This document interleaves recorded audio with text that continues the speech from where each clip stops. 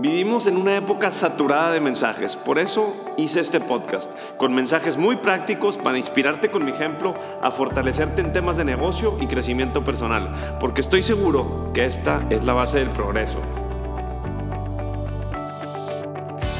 Por favor comparte este podcast con alguien más, suscríbete a mi newsletter y ayúdame a inspirar a más gente.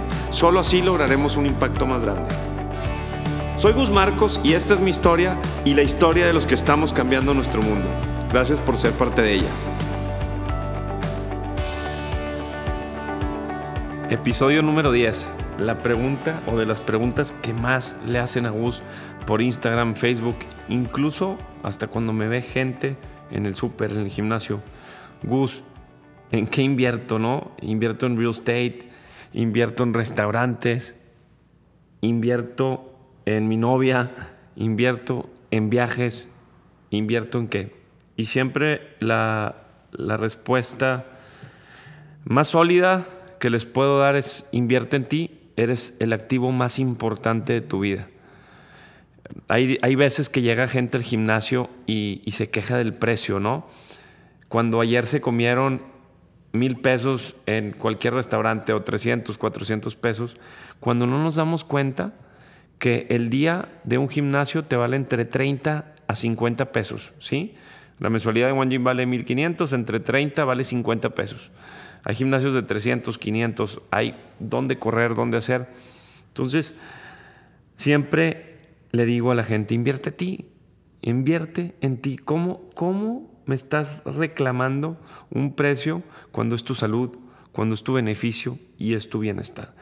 Al final del día, la gente no sabe que al invertir en ellos les va a proyectar muchos beneficios a futuro. No nada más en wellness y salud, ¿no? Sabemos que el wellness es, es bienestar total, ¿no? Es descansar, es alimentarte, es ejercicio, es pensar positivo, rodearte de gente positiva, dejar de criticar y estar al final del día siempre aportando algo a la sociedad. Eso es wellness. ¿Sí?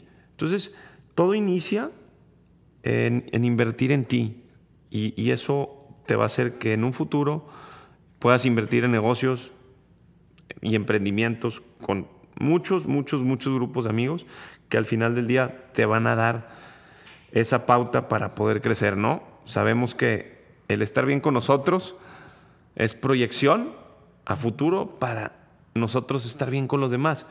El problema es que de entrada, el 95% de la población no hace ejercicio constantemente.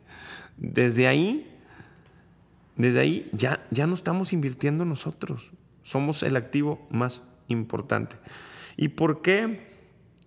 ¿Por qué empecé a invertir yo en mí? No? Nace mi hija Sophie y, y cada día el tiempo era más corto, ¿no? Era menos tiempo de ver a la gente que menos me suma, y empiezas a reaccionar, ¿no?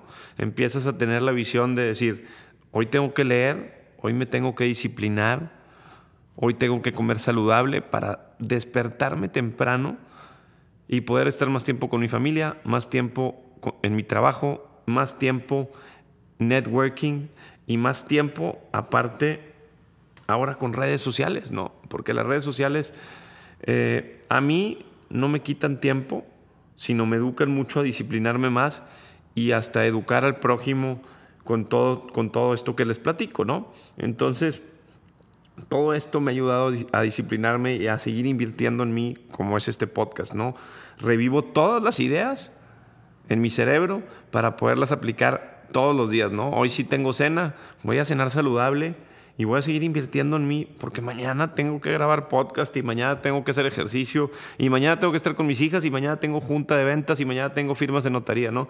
Entonces, no nos damos cuenta que todo, todo nos rodea a partir de invertir en nosotros, ¿sí? Ese es el primer paso.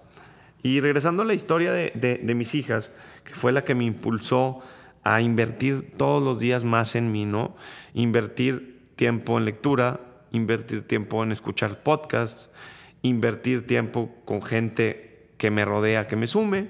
Y así sucesivamente esto me hizo generar más tiempo para mí, para poder generar negocio y poder tener libertad financiera, ¿no? Entonces, para que estén enterados de cómo se logra esa libertad financiera es invirtiendo en ti primero, ¿no? No nada más hay que invertir en los inmuebles. Me dicen, pues, ¿cómo, cómo invierto en inmuebles? ¿Cómo?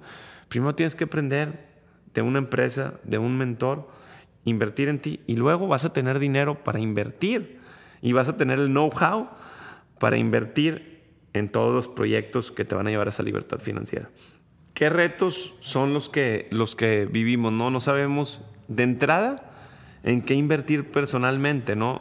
Oye, Gus, tengo 30 mil pesos o 40 mil pesos. Pues si tú ya tienes algo en qué enfocarte, si estudiaste una carrera, si estudiaste primaria, secundaria, y te gusta algo de finanzas, o te gusta algo de real estate, o te gusta algo de restaurantes, de entrada tienes cursos gratis en YouTube por todos lados, ¿no? ¿Sí? hay que invertir en conocimiento.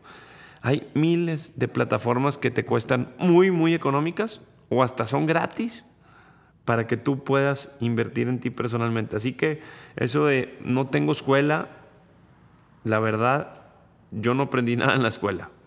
Se los juro, aprendí a sumar y restar. No me acuerdo ni de fracciones, no me acuerdo de absolutamente nada más que lo, lo que he hecho en la calle y los YouTubes que he escuchado y los libros que leí después de graduarme de carrera. Así que están en tiempo de invertir en ustedes y esto es bien importante. Siempre estamos a tiempo de poder invertir en nosotros. Tengamos 50, 60, 30 o 20 años, en serio, es bien importante esto del conocimiento, ¿no? Y aparte no nada más escucharlo, luego es aplicarlo, ¿sí? Luego es aplicarlo y equivocarte, tropezarte, aprender y ahora sí ya viene la experiencia propia.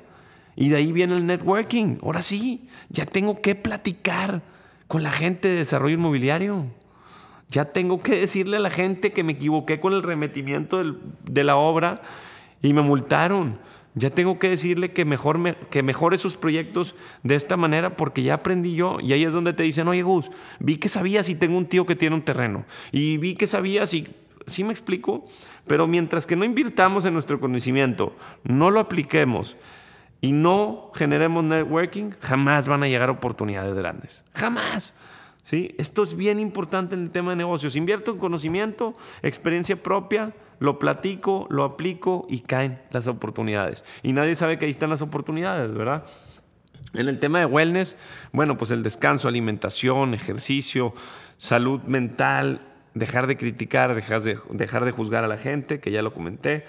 Todo, todo eso, todo eso que, que, que, hace apachurrar a la gente, decir, estás en una fiesta y, y, estás criticando a tu mejor amigo enfrente de todos los amigos, ¿no? Eso es parte del wellness, ¿eh? Y ahí te sientes muy bien, eh, te crees superior, ¿no? Te crees superior a, a los otros.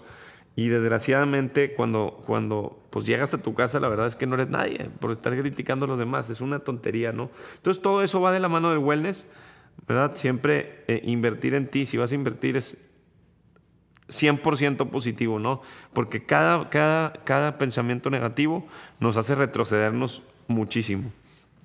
Y en lo social, pues mejora a tus amigos, ¿no? Eh, la experiencia propia que vienes aplicando en el tema de negocios te va a crecer, te va a hacer crecer en tu círculo social. Entonces ahí es, es un círculo, el tema de negocios, el tema social. Y hoy en día yo invierto mucho en mi aspecto, en mi lenguaje y en mis redes sociales, ¿no? De hecho, a veces hasta cuando subo una historia y, un chavo dice eh, tonto o, o algún, alguna palabra que yo no refleje, que a veces me equivoco y pido disculpas y a veces digo, digo malas palabras, pero procuro no, porque no va con mi filosofía y, siento que una mala palabra pues, no suma, ¿no? A veces nos desesperamos y, y, pues ya sabes, ¿no? Sucede, pero creo que todo esto, el personal branding de Gus Marcos, redes sociales, eh, eh, mi, físico, todo lo que reflejo, es una gran inversión. Y, y, hoy en día tenemos que empezar a usar esa plataforma que es gratis, ¿no? Instagram, Facebook, eh, LinkedIn, todo eso que tenemos ahí gratis, de alguna manera potencializarlo con todo ese conocimiento y todo ese networking, aplicarlo al tema digital. Es lo que he estado haciendo, es lo que estoy haciendo hoy y todos los días se monetiza con algo, ¿no? Que alguien va a La Panga, que alguien va a Fidencio, que alguien va a One Gym, que me quieren aportar un terreno, que invierten en el fondo de inversión, lo que sea, chavos, lo que sea, todo, todo, esta inversión que estoy haciendo, cae a la bolsa dinero. Que al final de cuentas, todos buscamos el dinero. El que te diga que no está buscando lana y el que es pura mentira, que es salud y bienestar y esto y el otro. No, yo también busco el dinero y todos necesitamos dinero para buscar esa libertad y para buscar invertir en nuestras familias y que sean mejores versiones de nuestras familias, nuestros hijos, nuestra esposa y todo lo que nos rodea. Así que ese personal branding te va a monetizar muy, muy rápido si te enfocas y si lo aplicas. Ahora, ¿qué retos son los que los que, los que vivimos, ¿no? Nos distraemos constantemente con, cosas negativas, ¿no? Entonces, de entrada, si, estás invirtiendo tu tiempo con gente negativa, pues estás sumando cosas negativas a tu vida. Ese es el primer reto. Ese es el primer reto, deslindarte de la gente negativa que te distrae a que tú puedas invertir en ti mismo, ¿no? Si ellos no quieren invertir en ellos eh, e ir a hacer ejercicio, ir a Chipinque, una, una, una, algo de montañismo o, ir a conocer los paisajes en Monterrey, a donde quieras, y hacer un networking connection con más amigos, pues creo que te estás equivocando en donde estás invirtiendo el tiempo. Ese es el problema. Y luego decimos, es que nos falta tiempo para invertir en nosotros, no es cierto. El día para todos tiene 24 horas, opero cerca de 12 a 15 negocios diferentes, todos los días, cuatro desarrollos inmobiliarios, ventas, firmas de escrituras, trato con clientes, voy a dar garantías, voy a municipio, voy a catastro, estoy grabando podcast. Entonces eso de falta de tiempo y falta de recursos, uy, hay miles de crowdfundings, hay miles de cosas que puedes investigar. ¿Dónde consigo dinero hoy en día en México? Y ponle en Google y te aseguro que te van a aparecer todas las plataformas que pueden invertir contigo. Entonces, esos retos de falta de tiempo, y falta de recursos es porque no estás invirtiendo tiempo positivamente para lograr esos, esos, propósitos, ¿no? Entonces, de eso trató el episodio 10. Muchas gracias por escucharme. Si quieres invertir en mis desarrollos, ir a mis restaurantes, ir a One Gym, búscame para hacerte precio, para darte mejor rendimiento o comprarme un departamento y tener esa inversión patrimonial. Aquí está Gus Marcos para atenderte y recibirte. Que tengas excelente día.